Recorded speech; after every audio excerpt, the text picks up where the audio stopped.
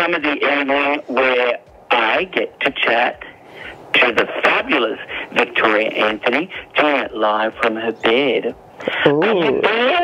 Yes, I'm in bed. You told me to be in bed when we um when we do the interview, so I'm in bed for you.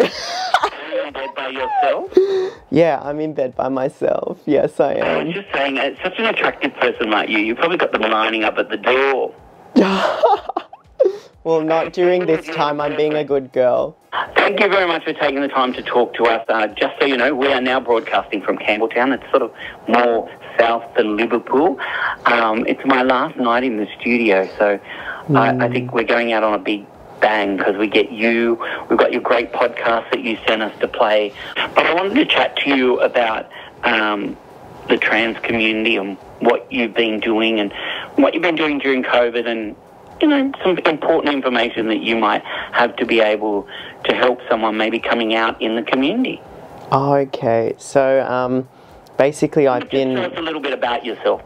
Yes, um, I actually used to listen to uh, Beverly Buttercup on the radio um, on Queer Out West, and um, I was living in Bankstown. That's where I grew up, and you actually were on the air, and like I was very isolated. I didn't know anyone else um, who was like me, and it was just um, great to have you um, broadcasting, um, and I would listen in every um, every week and hear what was going on. And even though I couldn't really go out because I was still quite young, I was only 15, 16.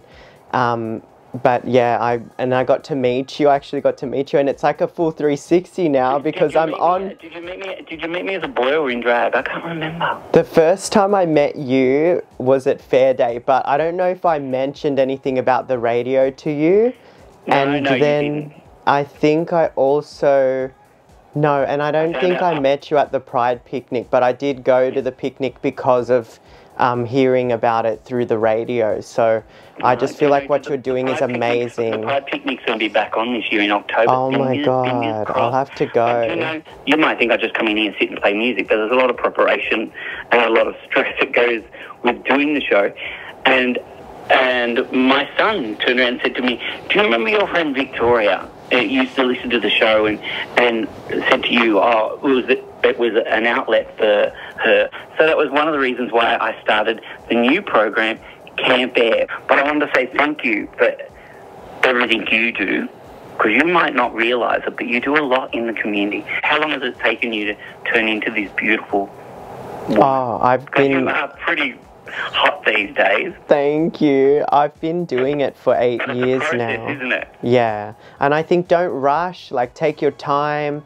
You know, um, it's like cooking something. Like you don't want to just like overheat and like burn it, burn the food if you're cooking something in the oven. You want to take your time. Surround yourself with people who are going to support you. Um, go out to trans events, support them. Like there's not um, many that go on, but like if you can try to get out to them, it really helps um, them to keep going and for people to keep wanting to to visit and um, you know. There is organisations available, but I know Yeah. there's a lot on social media. But is there any that you would recommend if people wanted to know more about transitioning or coming out?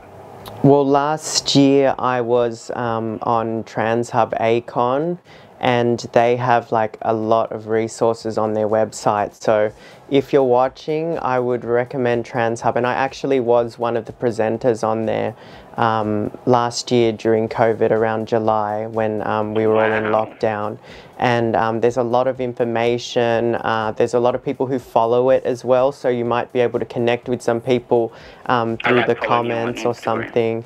Yeah, they're on Instagram, and then they also have a website, um, uh, TransHub, and um, they're connected to Acon, and it's like uh, Acon's first big trans, um, and also run by trans organisation. We have a lot of um, cross dressers and non identified.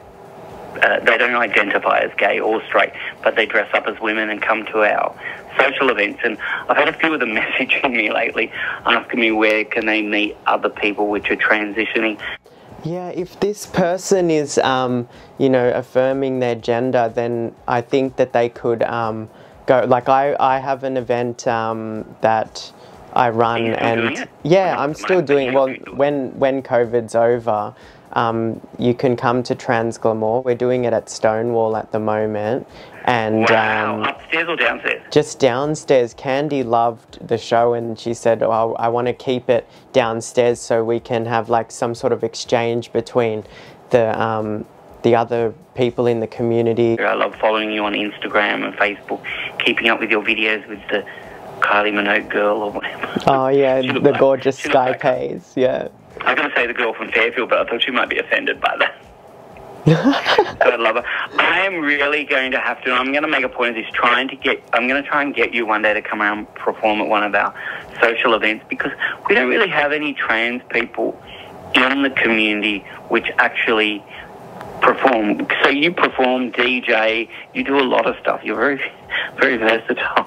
Yeah, I would like. I'd love to come and DJ um, at the event one day if you needed a DJ, or I can come and perform. Like I have speakers and DJ wow. decks. I just Next need you'll be driving a car. Ah. I can see you trotting down the bank down with this little loaded up old car. Uh-huh. I would love. I would love to. I, I should learn how to drive. Like I said, if I, I it's a, a resolution of mine for this year. I mean, I haven't started it, but I need to learn how to drive. Like I actually I have had my L's. until I was 25, and I think you're younger than that, aren't you? I'm 31 now. Cougar, Really? MILF. I'm MILF No. material now. Cougar. Tell you, I- I've known you. I've only known you probably 10 or 15 years. I'm now. I, I'm not sure how long you've transitioned. I never met you before you transitioned, but Yeah, eight years so now. I don't know what you're doing. I think- that old. I think it might be the Asian genes, maybe, and also I have a little bit of help from um, the amazing um, Felicity. She's a cosmetic nurse, so Oh, there's a plug right there. It's It's Frappuccino helps you then. the Fit Injector. So if you want to, um, that's one of my secrets. The Fit Injector. She helped me, um, and we we did do a video about that on Trans Hub as well. So if you scroll back to July the- or September, can you'll some see. of the audio and play it on the show. Can I just ask you, how long does it roughly take to transition? Like, um, would it be a year, two years, three years, or is it different for everyone? I think it's different for everyone. Like, I think there's no wrong or right way of doing it. So, like, whatever you want from it and whatever makes you happy is the most important thing when you're doing it. Like, first, you'd ha- at first you'd have to get on uh, like hormones or beta blockers or whatever. You'd have to do that for a set period of time. Yeah, some And people don't even do that either, but like it's up to the person. Like if they decide they want to medically transition or if they want or if they don't want to, like if they just want to identify as trans, it's up to them. I miss you. I wish I could come out there and like be with you in the station. I've loved do it, doing the um, other shows in the tell you, past with you. Once everything's back to normal, I'll make a point of coming into the city and taking you out for dinner. We'll have to do a girls' night out and we go out dressed up and have fun and Oh, hit the town. I don't own any makeup now. I've got a few. I can do your face.